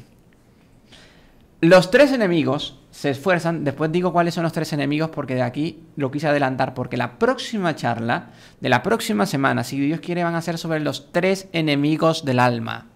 Hombre, que tenemos enemigos, sí tienes enemigos en el alma. Así que te invito de una forma cordial y de lo más bonito que pueda, te espero la próxima semana, ¿vale? Entonces, los tres enemigos se esfuerzan por, por proporcionar ocasiones de pecar, tienden trampas y lazos traicioneros, tratan de endurecer nuestra conciencia para que no nos conmuevan las bondades de Dios. Entonces, hay tres enemigos del alma, que no te lo voy a decir aquí, porque te lo voy a decir la próxima semana y quiero que estés aquí con nosotros la próxima semana, pues bien, en que quieren que dejarte en la paz en el pecado. Esa es la finalidad de ellos. Que te sientas, hombre, todo eso que dicen es cuento chino, vamos, que esto cura esto religioso, que siempre andan asustando a la gente, que eso, vamos, puro cuento. Dejar, esa es justamente la finalidad de ellos, dejar la paz en el pecado. Y te van endureciendo el corazón por medio de qué? Del materialismo. Como yo voy aprendiendo en este mundo que me enseñan que como ya te salió el teléfono nuevo móvil, pues vaya el punto suspensivo de la vida y como buen borrego a seguir la moda y a seguir lo que es la música y lo que son las modas y lo que es la tecnología y vaya a idolatrar, a comprar. No lo necesito, pero me gusta. Pero así llamó la atención. Y la forma de llamar la atención o de sentirme yo seguro en esta vida, pues es demostrar que tengo un buen teléfono móvil o que tengo una ropa de marca. Y eso endurece mi corazón. Y eso va justamente qué? Predisponiéndome qué? Al pecado mortal. Y también endurecen cómo? Vivir una vida sin sacramentos. Vivo una vida sin sacramentos. No, hombre, eso de la confesión de la, comunión, ¿para qué, hijo mío? Que eso, eso es del siglo pasado, hombre, siglo XXI, a pleno, que lo estamos viviendo. Las iglesias que deben de ser museos, como decían los socialistas del 36 en España, la única iglesia que ilumina es la que arde. Pues no. El relativismo también endurece el corazón, aquello que juego a la vida. Entonces, eh, hay vida, no hay vida, si hay vida, si todo el mundo sabe de lo que hablo, pues bien. Y es aquel relativismo. Deseos de pensamientos y conversión te la va pagando el demonio. ¿Y qué es lo que te dice el demonio? ve a cenar, que te están esperando. Apaga el canal ya, hijo, cambia de canal. Mejor ve a ver, yo qué sé, eh, ve Go Talent o cosas que te hacen reír o que te la vas a pasar mejor bomba, mejor que te estén asustando y diciendo estas cosas. Pues eso es lo que te dicen los tres enemigos del alma. No te suscribas a los heraldos del Salvador. Es que vamos, ¿para qué? Para que te digan estas cosas, ¿no, hijo mío? Hay otros canales más, más simpáticos. Pues es lo que te dice el enemigo del alma. ¿Todo por qué? Porque no quieren que oigan estas verdades y que cambien de vida. Entonces, el alma pecadora corre hacia dónde? Hacia la perdición, corre hacia el abismo. Y si no viene Dios con un milagro, va a ser la ruina total. Por lo tanto, vamos a pedirle a Dios que nos ayude, que justamente, pero todo se resume, vuelvo a repetir la frase Santa Maravilla de Jesús, si tú le dejas. Porque Dios se interesa por tu salvación, por eso está permitiendo que tú oigas esta charla el día de hoy. Por lo tanto, si nos has acompañado hasta aquí, símbolo que Dios te ama y que todavía espera un santo de ti. Porque si hasta aquí has aguantado, además que tienen buen aguante porque estos hermanos cansan un montón y porque no saben hablar bien, y bueno, y les pedimos perdón, pues bueno, pues ya está. Pero, pero aquí está Dios que los tiene a ustedes aquí, pues es porque quiere que sean santos. Entonces, aquí también, antes de decir los dos tips para dejar claro cómo se puede dejar el pecado mortal, que voy a dar dos tips, aquí termino esta parte diciendo, hay un, un manual del misionero, del predicador, que aconseja que, ah, para que nosotros los religiosos terminemos diciendo una frase. ¿Y cuál es esa frase? Es haciendo una, eh, una un, un, quizás. ¿Y cuál es? Quizás este sea el último apelo de conversión que Dios les hace a ustedes. Porque no saben que si van, ni yo mismo sé si voy a morir mañana, ni hoy mismo, ni ustedes, nadie sabe. O puede ser que nunca más volvamos a oír una verdad tan contundente, tan fuerte como la de hoy. Por lo tanto, si hoy oís la voz del Señor, no endurezcáis el corazón y realmente ponerme, y si este es el último apelo de conversión que Dios está haciendo a mi alma para que cambie de vida. Por eso es que yo dije en la introducción cuando dije que es la charla de hoy es retiro espiritual, porque GD tiene más de retiro espiritual que de charla. Comparto pantalla. Existen dos remedios para lograr detenerse en esta carrera hacia el abismo del pecado. El primero consiste en hacer caso a las inspiraciones y remordimientos que sentimos en la conciencia. Por lo tanto, primer tips es que si cuando tu conciencia, cuando sientes una voz interior que te dice, fulano, fulana, ve a confesarte, fulana, fulana, ve a adorar a Jesús sacramentado por lo menos cinco minutos, aunque no es domingo y no tienes obligación de ir a misa, ve hoy, cinco minutos, por lo menos cinco, a visitar a Jesús sacramentado, simplemente decirle que lo amas, simplemente agradecerle o simplemente para visitarlo, para decirle, Dios mío, esto que debería estar llenísimo hasta tope, ver, está vacío y qué triste. Y allá cuando viene el gran concierto de al saber qué regotonero, qué cosas, cuántas almas van a perderse. Y así como hacen fila desde la mañana para entrar a un lugar así, ¿cuántas filas debería de estar haciendo la gente para entrar a adorar a Jesús sacramentado? El gran olvidado. Abramos los ojos, reconozcamos esta verdad. Obedecer esas emociones interiores, entonces es un primer punto para dejar el pecado mortal ve a confesarte, hijo mío, ¿hace cuánto no te confiesas? Ay, alma mía, no me, no me traigas esos remordimientos, por favor. Vas por el mal camino. alma mía, ve a confesarte. Sí, es verdad, ¿verdad? Tengo que ir, ¿verdad? Sí, entonces voy y pongo fecha y hora. Es que sí lo tengo que hacer, pero más adelante, alma mía, vamos a hacer un acuerdo. No me sigue fastidiando y lo hago más adelante, ¿vale? Vas por el mal camino. Ven aquel momento que no sabes si ese día Dios te va a llamar. Y quizás es un último apelo que Dios te estaba haciendo para prepararte para tu muerte. Hombre, ¿cuántas historias no conocemos así? Y incluso a veces Dios da una segunda oportunidad. Que Dios me mandó una enfermedad. Dios permitió más bien que tuviera una enfermedad, un cáncer. Y sobreviví. Pues hijo mío, te está dando otra oportunidad. No es para que sigas haciendo las tonterías que hacías antes. Entonces, es ponernos a pensar en eso. Entonces, si no hay remordimiento, está todo perdido. Porque no hay nada peor en la gangrena, cuando tengo mi pierna engangrenada, cuando ya no siento nada. Es que ya no tengo dolor, pero la tienes engangrenada, significa que ya está todo perdido. Entonces, cuando no duele, cuando el alma deja de acusarme, cuando ya no me duele el pecado, pues es lo peor que puede pasar en mi alma. La gangrena ya es total. Por lo tanto, entonces, hacer caso a las inspiraciones, a las emociones que el Espíritu Santo me envía me pone, me dice, ve a confesarte, ve a hacer esto. Como vivo, moriré, no hay por dónde. A como yo vivo, voy a morir. Si yo vivo en estado de pecado mortal, moriré en estado de pecado mortal. Por lo tanto, con eso no juguemos. Vuelvo y aquí terminando, vuelvo a compartir pantalla para el segundo tips. Clamar a Dios pidiendo ayuda y perdón mira el crucifijo y pide verdadera contrición de las maldades. Eleva la vista a la Virgen María, que es refugio de pecadores, y di, ven madre mía en mi ayuda, que me están derrotando. Tomen copia de esa última frase, que es lindísima. A las almas que están en pecado mortal, o cuando vayamos, el demonio también quiera acecharnos. Ven, madre mía, en mi ayuda, que me están derrotando. Entonces, sé sincero con tu madre, con Nuestra Señora, con María Santísima, que te ama, que eres su hijo, y a ella le vas a pedir fuerza y ayuda. Por lo tanto, ese es el segundo tip, pedir ayuda y perdón a Dios y a Nuestra Señora. Primer tip, por lo tanto, a modo de resumen, hacer caso a las mociones, a, a las inspiraciones que Dios me manda. Y aquí la segunda e importantísima pedir ayuda y perdón a Dios y a Nuestra Señora. Y aquí se va a cumplir aquello del Apocalipsis que dice que dos gotas curativas van a entrar en nuestros ojos. Pues pedirle, Dios mío, dame esas dos gotas curativas de las que hablas en el Apocalipsis, ponla a mis ojos y que yo sea capaz de ver lo que es el horror del pecado y ver lo que es la belleza de ser santo, la belleza de querer salvar mi alma. Y aquí voy a comprender a Tertuliano cuando decía, una carne salva otra carne porque Dios se hizo hombre, Dios pasó por tentaciones y Él te salvó. Por lo tanto, Él entiende de tentaciones, por lo tanto, Él entiende de muerte, por lo tanto, Él entiende de sufrimiento. Una carne que salva a otra carne, con la diferencia que la primera carne es con mayúscula, que es la de Dios. Y aquí entonces, a modo de terminar, ustedes recordarán el libro del Génesis, que cuando después de de Adán y Eva pecaron, cometieron el primer pecado, que fue el pecado original, Dios preguntó, ¿dónde estás?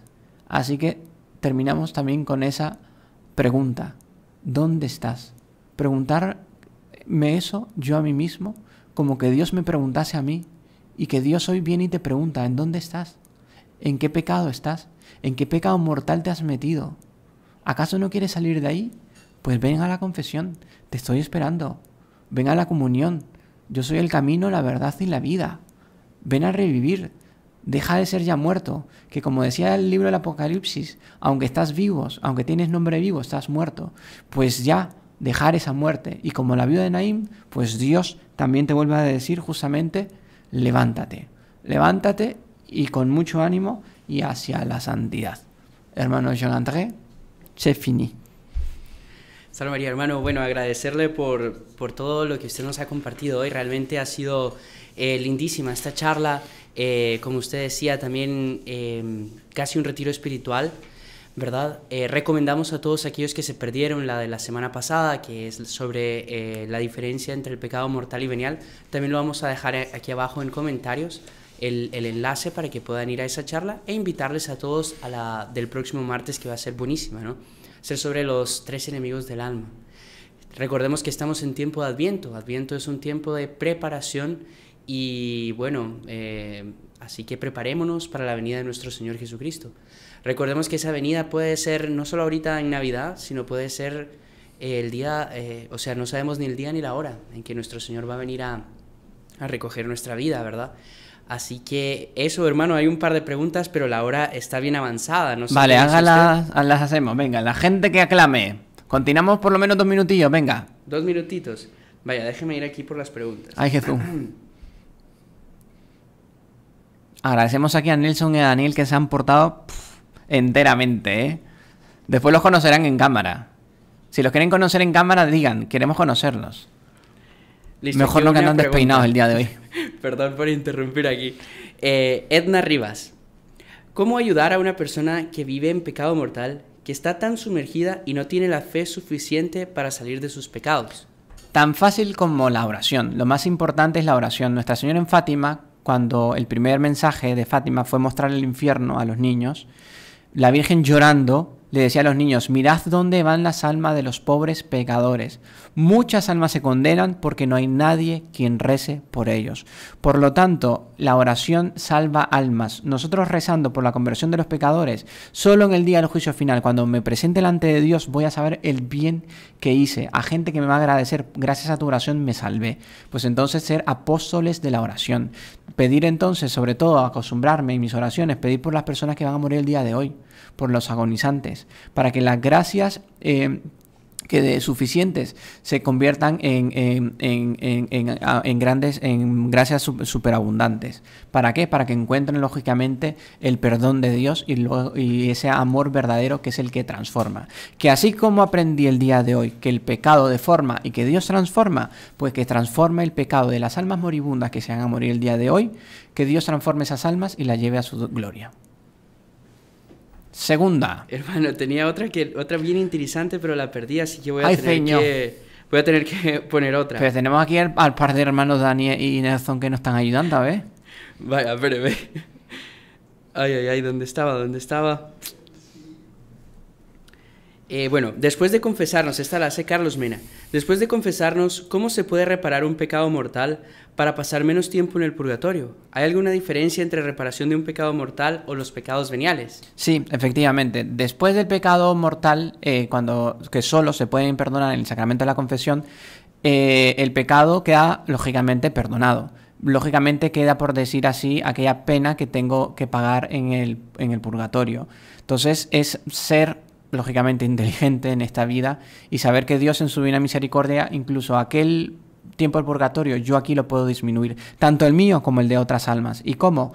Pues la asistencia en la misa, punto primordial, rezo del Santo Rosario, ganando indulgencias plenarias. ¡Hala! ¿Y qué es eso de indulgencias plenarias? Después de esta charla, hoy otro día, porque ya van a decir, vamos, que voy a hacer hoy un, un, trote de, secuencia de charlas. Buscan uno que se llama indulgencias eh, plenarias, que lo hizo el padre Gonzalo. ¿Sí, no? Bueno, yo creo que ya. ahora sí, no, ahora sí, ahora no nos deja más. Apenas quería eh, eh, leer aquí un comentario de alguien que puso. Ay, señor. Pedro Campos puso lo siguiente. ¿Qué puso? Va, eso quería oír. Primero Dios, este sábado me confieso, hermanos, esto es en serio. Es el pellejo de uno que está en juego. Ese tipo de comentarios nos ayudan muchísimo a seguir adelante con estas charlas. El saber de que por lo menos una persona va a tomar la, la decisión de cambiar de vida, ya para nosotros es la mejor paga. Pero gracias a Dios sabemos que no solo es uno, sino son varios y bueno, y nos hace bien a todos aquellos que estamos escuchando, incluso a los que estamos aquí en, sala de control. Y bueno, el hermano Armando que también siempre dice que él preparando las charlas aprende mucho más. Y, me emociono. Y se emociona, así que se los pongo para que lo vean emocionado. No, no, no, no. corten, corten. Bueno, muchas gracias, hermano una alegría y la verdad, la verdad es que como dice el hermano Juan Andrés, ese tipo de testimonios son los que nos motivan y uno dice, hombre, vale la pena que estemos aquí ganando el tiempo y ganando almas para Dios. Entonces, eh, qué alegría poder oír eso. Carlos, la verdad es que el día más importante de tu vida va a ser ese día. Así que muy bien, te felicitamos y ojalá que continúes siempre en ese camino.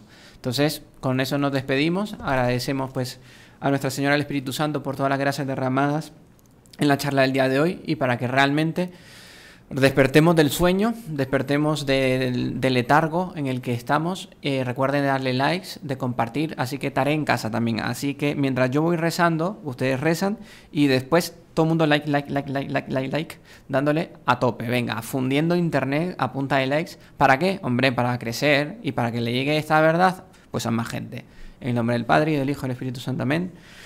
Dios te salve María, llena eres de gracia, el Señor es contigo, bendita eres entre todas las mujeres y bendito es el fruto de tu vientre Jesús. Santa María, Madre de Dios, ruega por nosotros pecadores, ahora y en la hora de nuestra muerte. Amén. Sagrado corazón de Jesús, en vos confío. Dulce corazón de María, sed la salvación del alma mía. En el nombre del Padre, y del Hijo y del Espíritu Santo. Amén. Amén. Salve María. Salve María.